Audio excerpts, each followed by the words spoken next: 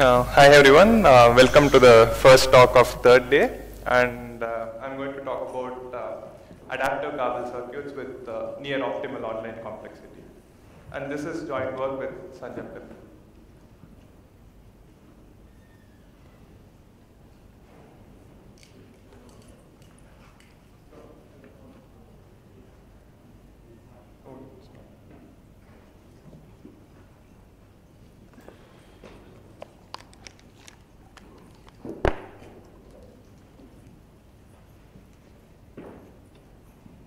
So let me first uh, give a brief overview of garbled circuits. Um, garbled circuits consist of three algorithms. The first algorithm is the circuit garbling algorithm that takes a Boolean circuit C and outputs a garbled circuit C tilde along with the secret key. The second algorithm is the input garbling algorithm that takes uh, uh, input x and the secret key and outputs the garbled input x tilde. The third algorithm is the evaluation algorithm that takes the garbled circuit C tilde and the garbled input x tilde and outputs C of x. So security of garbled circuits is usually defined in two ways. The, the, the most standard notion of selective security or the stronger notion of adaptive security. So let me start with the selective security game. So it's modeled as a game between an adversary and a challenger and the adversary first commits to the circuit C and its input X to the challenger and it gets C tilde and X tilde, the garbled circuit C tilde, the garbled input X tilde in return. So in this game, the, the garbled circuit C tilde and X tilde are generated as follows. The challenger tosses a random coin B. The output of this coin toss is 0, it uh, generates C tilde and X tilde using the honest algorithms. Otherwise, it generates C tilde and X tilde as the output of a simulator who's just given C of X as input. And the goal of the adversary is to guess this bit In the stronger adaptive security notion, the adversary first commits to the Boolean circuit C and obtains the garbled circuit C tilde in return. Later, depending on this C tilde, it might adaptively choose an input X on which it wants to evaluate the circuit and it gets X tilde in return. So in this game, C tilde and X tilde are generated by the challenger as by again uh, tossing a random coin B. If the output of this coin toss is 0, it generates both C tilde and X tilde honestly. Otherwise, it generates C tilde as the output of a simulator who is just given the size of C as input. So it has to generate the garbled circuit C tilde without knowing anything apart from just the size of circuit C. And later, uh, it generates X tilde uh, as the output of a simulator who is given C of X as input. And the goal of the adversary is to guess this bit B. And in this talk, we'll be focusing on the adaptive security notion. And uh, we'll call the phase where C tilde is generated as the offline phase and the phase where X tilde is generated as the online phase. We typically want the online phase to be extremely efficient, meaning that it should only grow with the size of the input X. So let me try to first motivate why is adaptive security important. So even though for the, the most important application of garbled circuits, meaning two-party computation, the standard notion of selective security is sufficient, there are certain applications for which you need the stronger notion of adaptive security. For example, the online-offline two-party computation setting, the one-time programs, the verifiable computation, and even adaptive compact FE. For all these uh, applications, you need the stronger notion of adaptive security.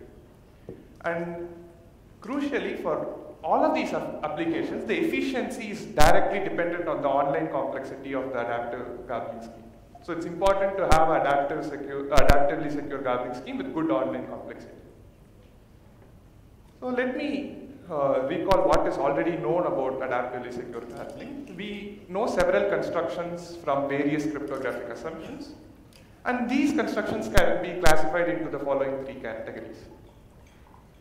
They are either in the random oracle model, or the security proof incurs an exponential loss, or the online cost grows with either the width or the depth of the circuit. And the security uh, in the third case is just polynomial. Uh, notice that the width or the depth of the circuit could be as large as the circuit itself and in this case it does not give it any meaningful savings when compared to a trivial uh, approach where you just send the garble circuit and the input just in the online phase. And are, these are the positive results. On the, on the negative side, uh, Applebaum et al. showed that any standard model construction of adaptively secure garbling must incur an online cost that is at least n plus m, where n is the input length and m is the output length. So there is a significant gap in the known upper bounds which grow with the circuit width or depth and the known lower bound which is n plus n.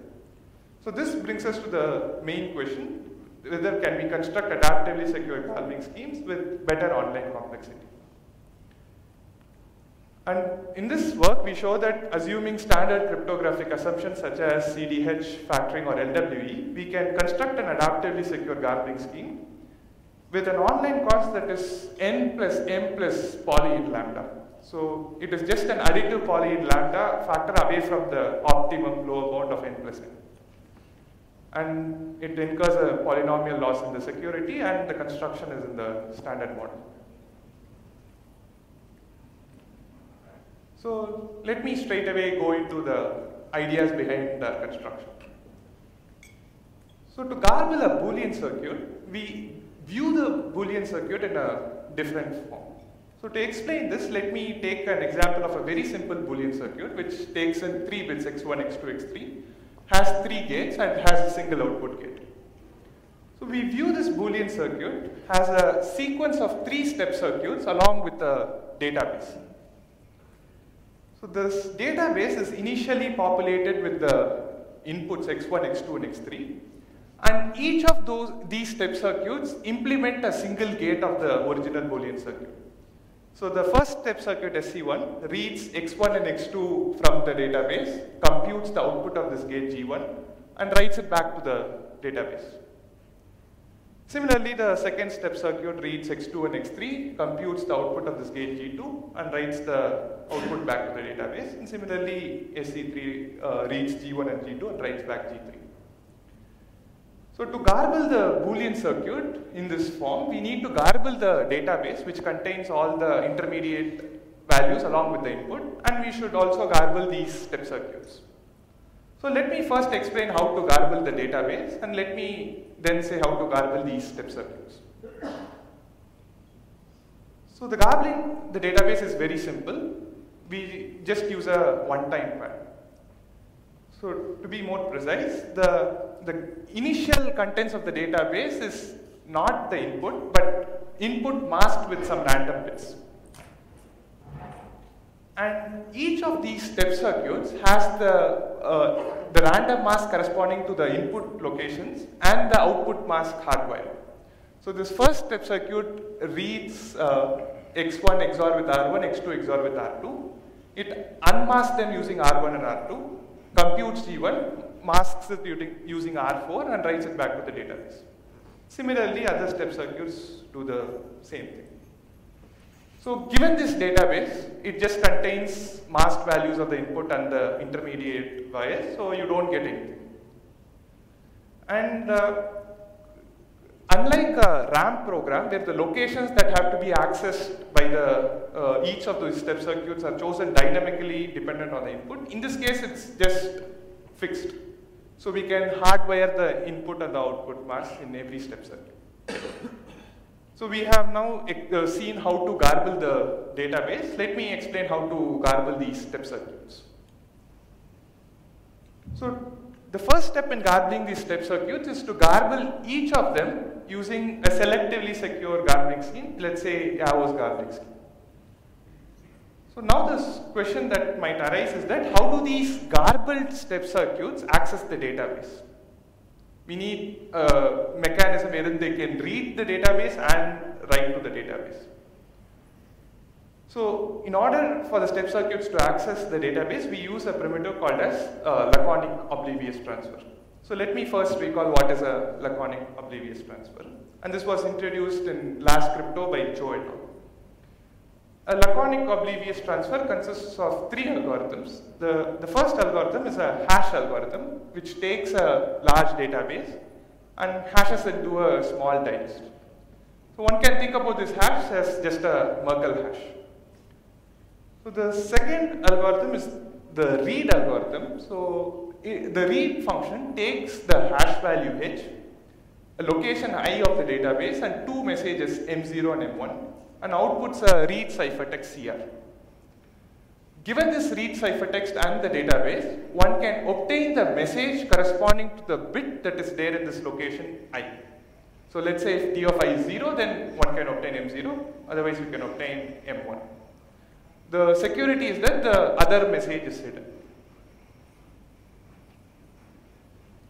Uh, an important efficiency property uh, for this read algorithm is that the, the, the computational cost only grows with uh, only grows polylogarithmically with the size of the database.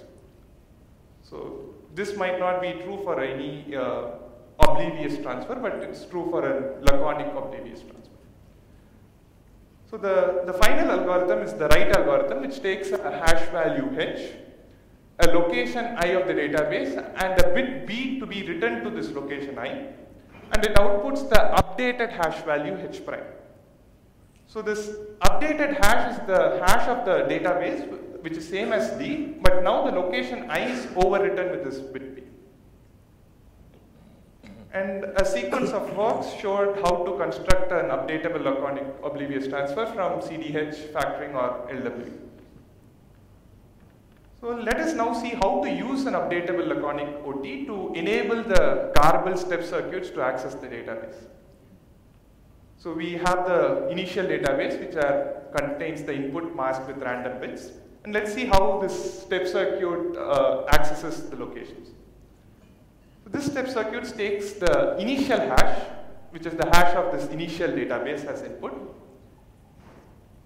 It reads the two locations using the read function of the laconic OT, and it writes to the location using the write function.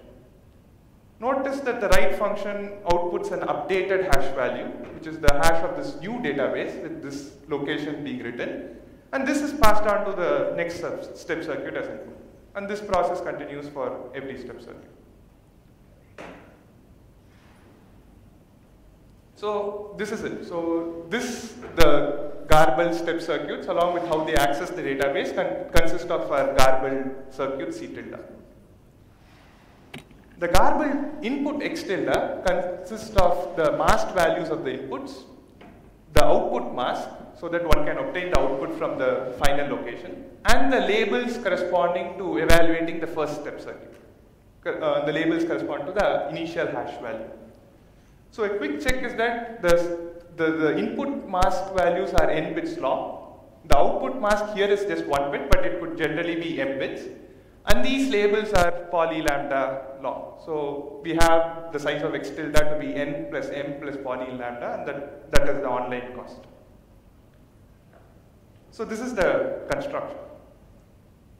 So in the remaining time, I will give you a high level idea of how the adaptive security proof works. So let me first describe the simulated distribution. So we need to prove that the real world distribution is indistinguishable to the simulated distribution. So let me start with the simulated distribution. So the simulated database consists of just random junk values it does not contain the input mask. And the, the simulated step circuits are just dummy step circuits which read the same locations that the original step circuit does, do no computation and just writes random values to the database. So this is the simulated distribution. So we need to show that the real world distribution is indistinguishable to the simulated distribution.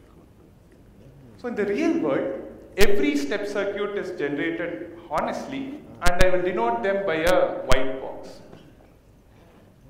In the ideal world, every step circuit is generated as a dummy step circuit and I will uh, denote them by a black box. So we need to go from uh, all whites distribution to the all blacks distribution. So a natural approach would, uh, one might come up with is that you first change this first step circuit to black, then the next step circuit to black, and so on until you change all these step circuits to black. However, in this work, uh, we follow a rather unusual approach where we first change the last step circuit to black, then change the second last step circuit to black, and so on until we get all these step circuits to black. So this is reminiscent of the, the work of KLW, which obtained uh, a succinct indistinguishability gauge. So that's just a connection. So in order to prove this, the, uh, the real world is indistinguishable to the ideal world, we need to prove that each of these intermediate hybrids are in turn indistinguishable. And of course, we cannot prove that the real world is indistinguishable to hybrid 1 where the last step circuit is black in a single shot. So this in turn requires a sequence of hybrids. So let me explain the, the first uh, hybrid where we go from real to hybrid 1 and the other hybrids are similar. So again, in the real world, we have the all whites distribution, and in the hybrid one, we have the all of them are white, except that the, the last step circuit is black. So in order to go from the real world to the ideal world, we make use of some intermediate hybrids where we maintain some of these step circuits in this. I don't know how, what color you're seeing. It's supposed to be brown, but say it's brown. So we maintain some of these step circuits in the brown mode. So intuitively, a, a step circuit is in the brown mode if the distribution of this garbled step circuit depends only on the output of the gate that is computed by this step circuit. So let, us say if this, if this output of this gate emulated by the step circuit is 0, then this garbled step circuit depends just on this bit 0. Now, uh, one might think that uh, uh, there, there is a, seems to be an apparent problem. The problem is as follows. So, first of all, we need to generate these garbled step circuits in the offline phase even before we know the input. But I told you that these garbled step circuits in the brown mode depend on the output of the gate that is being computed. So there seems to be a circularity issue where we need to know the output of the gate in the offline phase, but we cannot know it because we know the input that we want to evaluate only in the online phase. So how do we get around this? Basically, the question is how to garble a step circuit in the brown mode in the offline phase. The answer is that we just guess the output of these gates. So let's say that if there are L gates in the intermediate, in the intermediate hybrid in the brown mode, then we incur a 2 to the minus L loss in the security with this, if our guess is correct. But I mentioned to you that we incur only a polynomial loss in security. So in order to make sure that our security loss is just polynomial, we need to maintain that the L, which is the number of gates in the brown mode, should be logarithmic. So now the question is how do we make sure that uh, the number of step circuits in the brown mode is just a log logarithmic number. So the, the answer is that we use a combinatorial pebbling argument to show that in each intermediate hybrid, the number of step circuits in the brown mode is just a logarithmic number. And I won't be ha uh, having the time to go into the details of this argument, but I would uh, encourage you to look into a paper for the details. And uh, interestingly, uh, an optimal strategy for a pebbling game directly gives the, the actual sequence of hybrids that we want. So op, uh, the, the pebbling game just gives a sequence of hybrids where the number of step circuits in the each intermediate hybrid in the brown mode is just logarithmic. So to conclude, uh, we gave a construction of adaptive garble circuits with a near optimal online complexity from standard cryptographic assumptions, uh, namely CDH, LWE, or factoring. Uh, in a follow-up work which is about to appear in this year's crypto with uh, Sanjam Garg and Rafi Ostrovsky, we give a construction of adaptive garbled RAM with uh, near optimal online complexity under the same assumptions. So for a, a RAM, in the RAM setting, the, the, the, the locations that are accessed by each step circuit are not fixed. So this in, involves some technical challenges, and we show how to solve them in the follow-up paper. So some of the interesting open questions from our work are as follows. The first is, uh, can we improve the assumptions? Namely, we seem to require some public key assumptions with this approach, where uh, like CDH factoring or LWE. It's not clear whether these are necessary. So it would be great if we can do it from the minimal assumption that one-way functions exist. Another uh, interesting question is to improve the concrete efficiency of a scheme. So uh, adaptive garbling has some real world uh, applications as well. So it would be uh, fantastic if we can improve the concrete efficiency. And that's it. Uh, thank you all for your attention.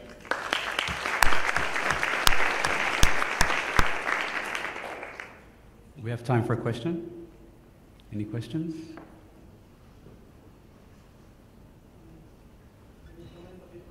Lacon- uh, Can you comment a bit on the use of laconic OT in your construction? In, in in particular, I'd like to know like how many of these laconic OTs do you need? And, So uh, for, uh, for each step circuit, we need uh, Laconic OT to access the locations of the database and also to write.